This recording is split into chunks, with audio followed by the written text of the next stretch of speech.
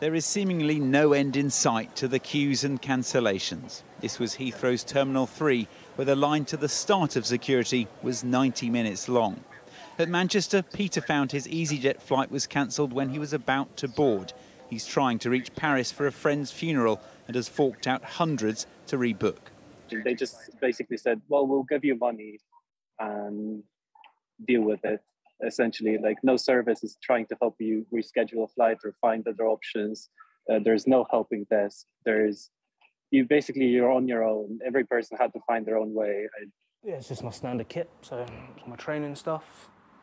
Aaron McKibbin should be representing Great Britain right now at a para table tennis tournament in Montenegro, but he and 10 teammates had to pull out when their Wizz Air flight was cancelled just hours before departure. In my team, you know, we have a lot of teammates that they needed this competition. You know, they need the tournament credits to be able to compete at the World Championships. So you have to you have to play a certain amount of competitions for a year.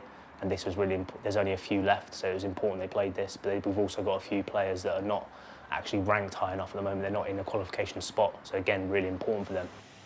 After days of disruption, ministers have been meeting industry figures to try and resolve the crisis. But it seems there's little room for progress, with all sides now engaged in a somewhat circular blame game there's clearly uh, been uh, a, a, lack of preparation for that surge back of demand of holidaymakers. And Grant Shapps has been talking, the Transport Secretary, has been talking to the industry uh, for months now, saying that this will come and, and, and that you need to make sure you've got your recruitment in place.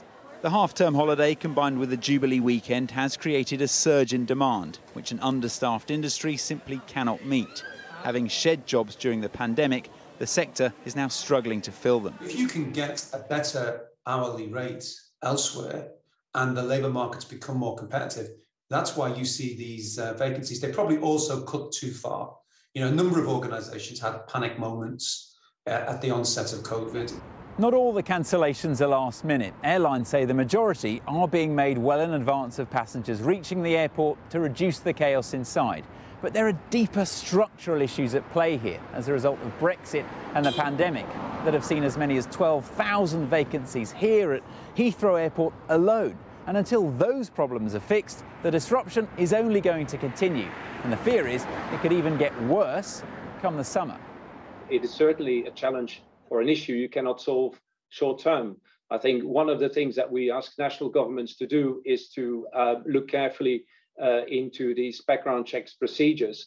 Um, because even if you hire a person uh, at the airport or at the airline, um, it can take weeks, sometimes months, uh, before the background check is actually is actually done. And as the finger pointing continues, it's passengers paying the price. Ivor Bennett, Sky News.